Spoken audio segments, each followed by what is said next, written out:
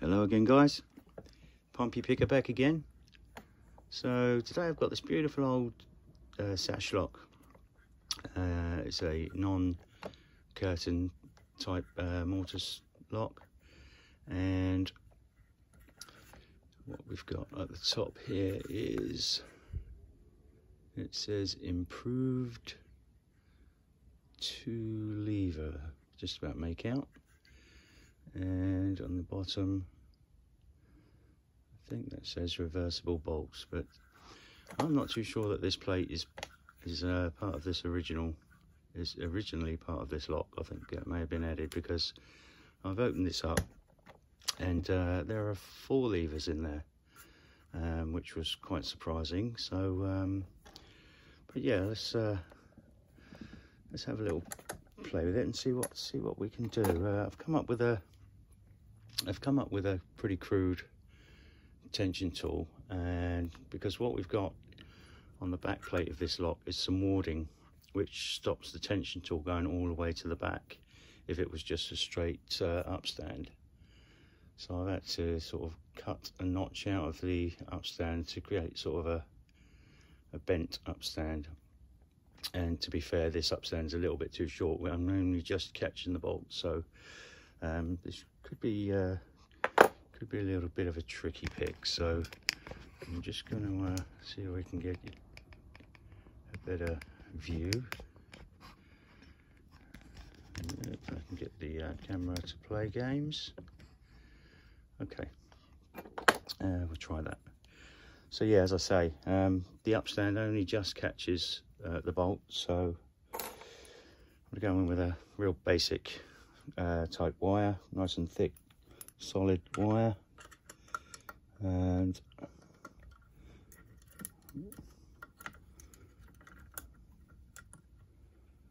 I can get it in, which is the tricky part.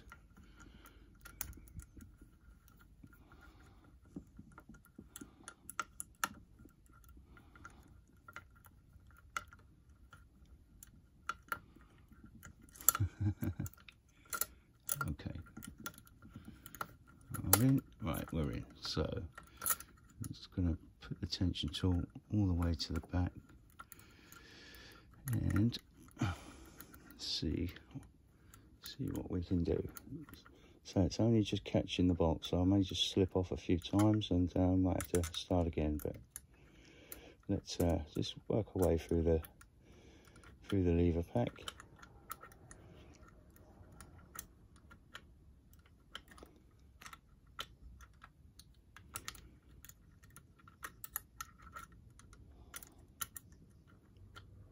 Little bit of movement there. I think I'm just going to reach over to pick that back lever up because of the warding. And uh, I've just slipped off the bolt there, so we'll start again.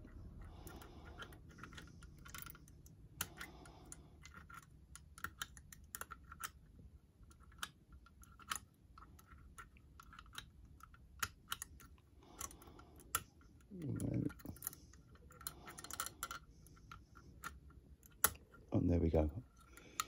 So, as you see, the bolt's not fully thrown because uh, because my tension is a little bit too short. So I'll have to uh, go in with the longer wire and just throw that all the way. And there we go. So let's have a little look inside, shall we? See what we've got. So it's a beautiful old lock. Um, slotted screws, so you can tell it's uh, it's uh, quite old.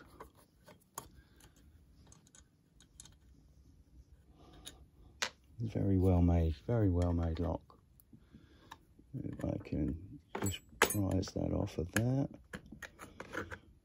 We're probably going to lose some bits and pieces with springs and so on, but uh, yeah, let's just have a little look at that. That's beautiful.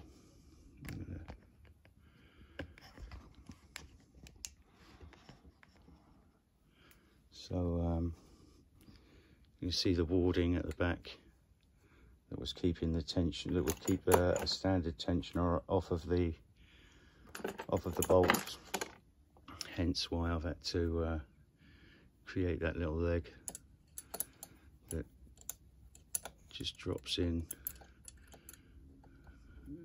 around there. Right, once the bolt uh, the bolt's been thrown so I'd have to do it from that side. But yeah it just drops in past that warding and uh, gets onto the bolt. Yeah let's have a little look at the uh, little look at the levers.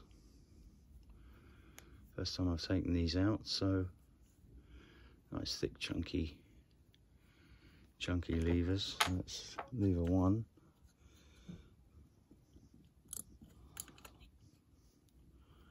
Lever two seems to be a lot thinner which is odd.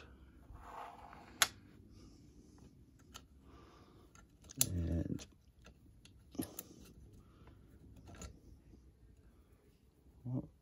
lever three there's no sort of false gates in them but that's uh, that's slightly thicker than lever two which is strange. So it's uh, possibly a handmade lock maybe? I'm not sure. And lever four again that's a, a thin lever. But um, absolutely beautiful little thing. So yeah I thought I'd share that with you guys um, that's the bolt, the bolts, uh, the bolt action. And as you can see with my tensioner, just about, just about catching the bolt to throw it, not quite all the way.